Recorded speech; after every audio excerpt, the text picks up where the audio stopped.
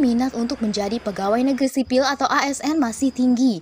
Namun di Kabupaten Subang, Jawa Barat, seleksi CPNS pada tahun 2019 saat ini dinilai masih belum ramah para penyandang disabilitas. Sejumlah penyandang disabilitas di Kabupaten Subang, Jawa Barat menilai proses seleksi calon pegawai negeri sipil atau CPNS tahun 2019 belum ramah kepada penyandang disabilitas. Diskriminasi terhadap penyandang disabilitas tersebut salah satunya ditemukan di Subang, Jawa Barat.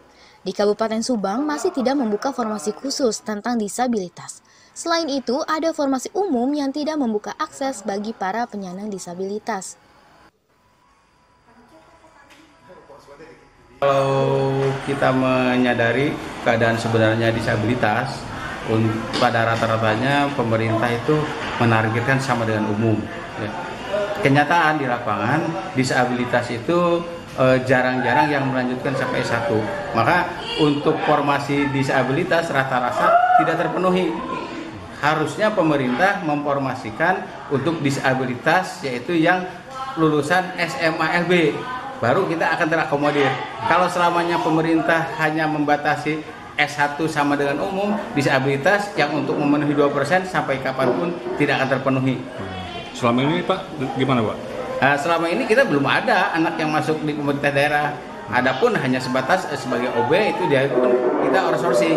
Ya, jadi swasta, uh, kita belum sepenuhnya memenuhi syarat-syarat standar sesuai dengan kebutuhan. Ya pemerintah belum mengakomodir keberadaan walaupun sekarang alhamdulillah presiden sudah di ajudannya sudah anak disabilitas, disabilitas ya.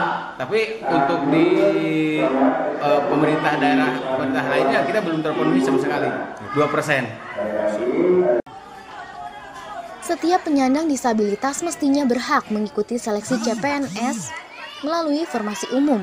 Hal itu pun telah ditegaskan dalam Peraturan Menteri Pendayagunaan Aparatur Negara dan Reformasi Birokrasi yang menyatakan bahwa penyandang disabilitas dapat mendaftar pada formasi khusus disabilitas atau formasi umum. Dengan terbitnya peraturan tersebut, penyandang disabilitas di Kabupaten Subang memperoleh haknya dan Panitia Seleksi CPNS 2019 mengakomodir aspirasi dan haknya penyandang disabilitas juga menegakkan peraturan yang berlaku. Saat ini di Kabupaten Subang baru perusahaan swasta yang berani merekrut penyandang disabilitas untuk bekerja. Sedikitnya ada 9 perusahaan yang baru memperkerjakan penyandang disabilitas di perusahaan mereka. Dari Subang, Jawa Barat, Agus Hidayat, Revolusi TV melaporkan.